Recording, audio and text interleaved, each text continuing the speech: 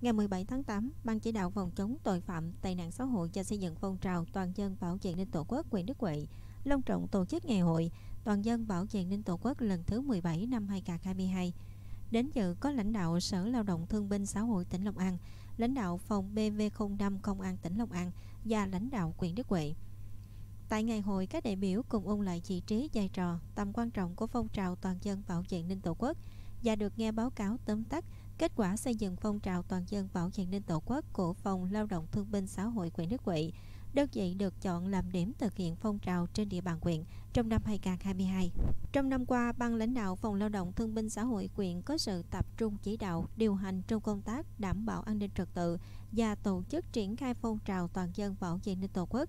đề ra các biện pháp xây dựng cơ quan đạt chuẩn an toàn về an ninh trật tự, gắn với triển khai sâu rộng nội quy quy chế bảo vệ cơ quan đến cán bộ, công chức, viên chức và người lao động thực hiện.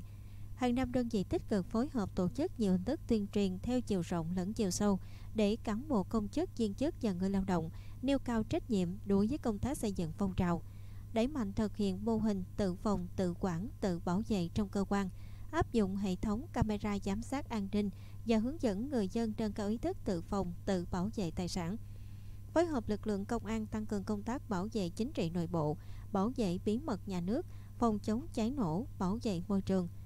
Trong công tác bảo đảm an sinh xã hội phục vụ phòng chống dịch Covid-19, Phòng Lao động Thương binh Xã hội đã tham mưu hỗ trợ trợ cấp tiền trợ cấp cho trên 8.900 người lao động với tổng số tiền trên 7 tỷ đồng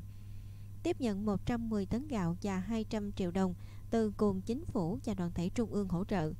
Phối hợp các cơ quan ban ngành đoàn thể quyện và các xã thị trấn vận động các mạnh thường quân hỗ trợ lương thực thực phẩm cho người dân trong thời gian thực hiện chỉ thị 16 trên 10 tỷ đồng. Dịp này, tập thể Phòng Lao động Thương binh và Xã hội quyện và ba cá nhân đạt thành tích xuất sắc trong phong trào toàn dân bảo vệ nền Tổ quốc năm 2022 được nhận giấy khen của Chủ tịch Ủy ban Nhân dân quyện.